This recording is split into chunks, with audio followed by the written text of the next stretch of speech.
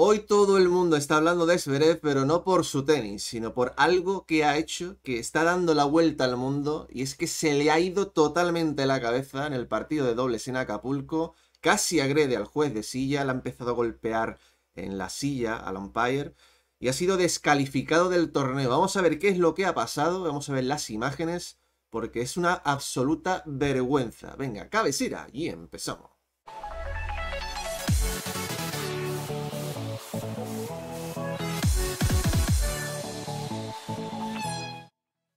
Bueno, patético, ridículo, vergonzoso. Lo que ha sucedido hoy lo podéis denominar de multitud de maneras. Lo que sí es verdad es que lo que ha hecho Alexander Zverev con el juez de silla en Acapulco va a pasar a la historia. Desde luego, mira que hablábamos ayer, Murciego, de, historia con el tema del el partido que acabó casi a las 5 de la mañana con Brooksby. Pues hoy de nuevo va, va a aparecer el tenis en portada con con Sverev eh, en ella, pero no por las razones que nos gustaría, ¿no? Eh, lo que ha hecho hoy con el juez de silla va, a salir en muchísimos sitios. ¿eh? No ha estado bien. No ha estado fino hoy, Alexander. Mira que es bueno, mira que nos gusta cuando está inspirado dentro de la pista y mira que ayer nos convenció a todos con ese partido histórico, yéndose a dormir a las siete y media de la madrugada, saliendo en todas las portadas. ¿Quién le iba a decir que hoy en un partido de dobles, que ni va ni viene, que no era tampoco demasiado importante, la iba a liar de esta manera? Yo creo que se le puede llamar agresión. Ha habido ahí cierto debate. No, no le da, sí, sí le da. Para mí es una agresión, le dé o no, porque es un acto de intimidación tan bestia al juez de silla por cantarle mal una bola y que al final le lleva, les lleva a él y a Melo a perder el partido, que la verdad han pasado unas horas y todavía me sigue sorprendiendo de, que haya sido capaz de hacer algo así. Ah, yo no recuerdo. Hemos visto situaciones parecidas, ¿no? Pero al punto de que casi casi agrede al juez de silla y que el propio juez de silla haya tenido que irse de la pista, yo creo que por miedo a que, le, a, que incluso le pegara, yo a mí me cuesta pensar, o sea, uno no le entra en la cabeza lo, que ha sucedido. Pero bueno, vamos a hacer un pequeño repaso de lo que ha pasado. Cuéntame, Murciego, cómo, cómo se inicia todo y qué es lo que sucede justo en el momento en donde se le, se le corta el cable al alemán. Pues no sé si por eh, la falta de sueño, pero ahí le vemos jugando con Melo, primera ronda del cuadro de dobles de Acapulco, jugando contra Glasspool y, el Ibajara. Y tercer set, super tie break, van creo que son 8-6 y hay una bola dudosa que es la que está aquí marcando Esberez. Eh, la bola parece fuera, de hecho, el público empieza a gritar out, out, out, porque también la ha visto fuera, pero el juez de silla dice que toca. Si toca es por esto. En fin, eh, tantas veces hemos visto esto, los problemas que da el no tener ojo de halcón, que al final Esberev, bueno, se vuelve loco, empieza a insultar al juez de silla, se lleva un warning y el partido sigue. Pero claro, el partido sigue con 9-6 en el super tiebreak, a un punto de perder. Y luego pues pierden, además con un saque directo, y Esberev pues digamos que dobla la apuesta. A ver, que tú ya llames no podemos decir el insulto porque nos desmonetizan el vídeo, pero llamar pu idiota al juez de silla en su cara, para mí ya eso es motivo de descalificación. Mm, mira que ya hemos visto cosas parecidas, ¿no? En, por ejemplo, en Medvedev, en el Open de Australia, vimos un insulto similar, llamando tonto, ¿no? En este caso al juez de silla. Eh, yo creo que se les, permite demasiado, tío. Es el único deporte donde tú puedes insultar al, árbitro y irte de rositas, irte con un simple warning. Mm, es verdad que esto, se, como tú dices, se puede evitar con un ojo de halcón, que se, quitan problemas, pero tú no puedes tener la libertad de poder decirle al juez de silla en su cara, insultarle de esa manera. Eso me parece, mm, me parece brutal. Es de, ser un, Hay que decir las cosas tal cual. Es un poco de un niñato malcriado. de, de que, se permita decir este tipo de cosas y no es el único de su generación que lo hace. Entonces, como se puede permitir, pues se ven un poco con la libertad de poder decirlo, ¿no? En este caso, eh, en, la propia pista. Ya luego, después, cuando pierde, se le va totalmente la cabeza y se va directamente hacia la silla del, juez de silla y empieza a golpearla. Y en una de las... Eh, no podemos poner las imágenes que son de las de cámara total, la, la cámara frontal, porque no, tenemos los derechos para lo que estáis viendo. El propio juez de silla tuvo que quitar incluso Murciego el pie porque es que una de las veces casi le dan el pie. Mm, yo no sé si la primera le llega a dar, desde luego es una, es una acción que asusta, ¿no? Que da miedo porque no sabes hasta cuándo puede llegar la rabia del jugador. Y a mí me llama la atención porque Zverev cuando le da la mano a sus rivales en la red se le ve calmado, ¿no? Eh, es decir, ya ha pasado la tormenta, pero algo en su cabeza se había marcado decir, la tengo que liar porque me voy con una frustración tan grande que lo tengo que pagar de alguna manera. Y la paga, gracias a Dios, con la silla y no con el juez, porque está a punto de darle. Bueno, eh, es, lo que dices tú, ¿no? Yo creo que estos chicos eh, saben que tienen mucho poder, ¿no? En un deporte individual donde seguramente también los jueces desde dentro, la organización les diga, bueno, os puede pasar algo así, que no se os vaya la mano, ¿no? Eh, en fútbol, si tú expulsas a uno, quedan 10. El partido sigue. Aquí si te cargas a un jugador, hay mucha gente que ha pagado una entrada y que quiere seguir viendo el espectáculo.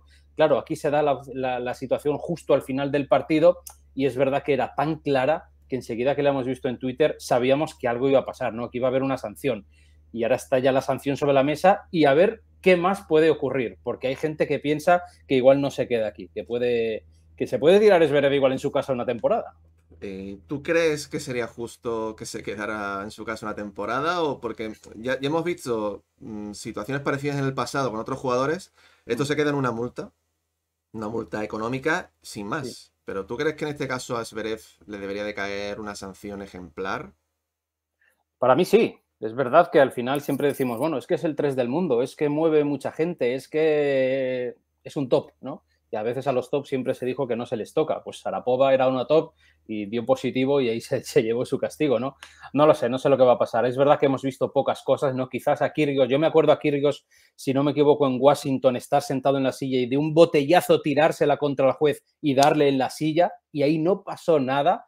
Y hoy parecía que iba a volver a pasar, ¿eh? que todo el mundo se iba a callar, que se olvidara, que nadie mirara mucho el vídeo y al final es que es, que es una cosa escandalosa, ¿no? Lo han expulsado del torneo, no va a defender su título y mañana vendrá la segunda parte, ¿no? La respuesta de Zverev, que esperemos que sea así con el lomito bajado y la cabeza sin hacer mucho ruido y aceptando que lo ha hecho mal, o no, porque ya aquí uno se espera cualquier cosa. Pero es que aunque tú pidas, aunque él pidiera perdón, que es lo que tendría que hacer, lo que, aunque él pida perdón, yo creo que la ATP aquí debería tomar cartas en el asunto. Es que esto me parece tan grave que, que se vaya con 12.000 euros de multa o 15.000 euros de multa, que, eso para él es absolutamente nada. Hmm.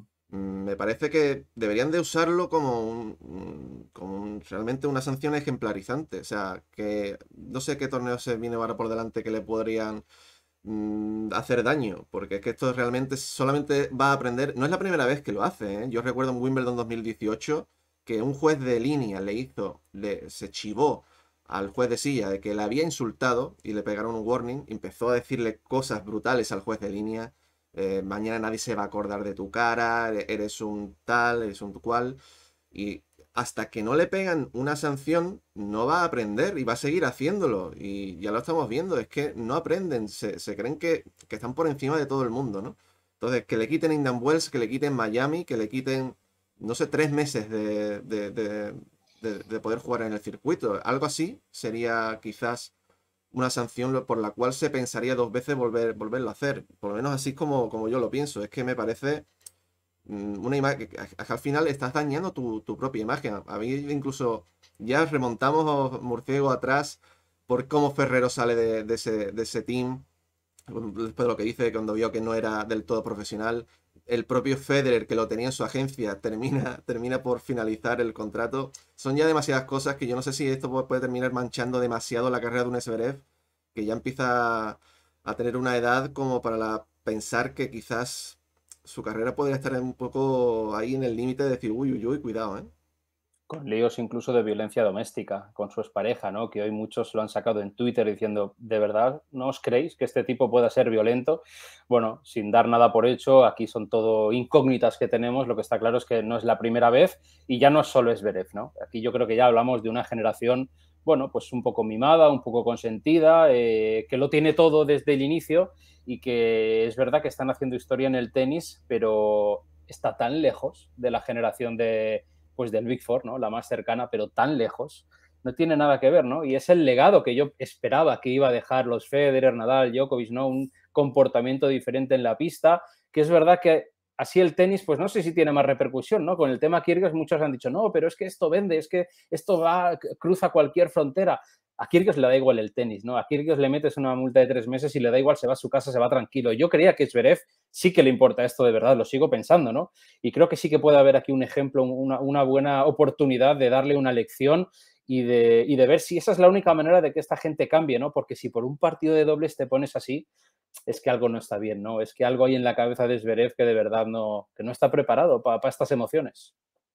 Pues totalmente, totalmente. Yo no, como digo, no sé si eh, podrá, al final, qué, qué fue, qué es lo que pasará con él y tal, pero, pero sin duda es un, es un, un gesto bastante cuestionable, cuanto menos. Por lo menos, yo creo que todo el mundo está de acuerdo en esto. eh, no es lo mismo que tú le pegues un insulto verbal a un silla que te, que te, que te suspenda, o que te descalifique del partido y te eche a esto, que esto es ya cruzar el límite. Entonces, vamos a ver qué es lo que sucede con, con de momento no va a poder seguir jugando en Acapulco y su imagen va a quedar bastante manchada. No sé hasta qué punto va a poder pedir perdón y limpiarlo, pero ahí, ahí queda. Y ya queda a debate de, que, de cada uno, ¿no? Entonces aquí en comentarios lo que tenéis que hacer es dejarnos pues lo que pensáis, vuestros pensamientos acerca de la actitud que ha tenido Zverev, qué pensáis que debería hacer la ATP, sobre todo, si pensáis que debería ser sancionado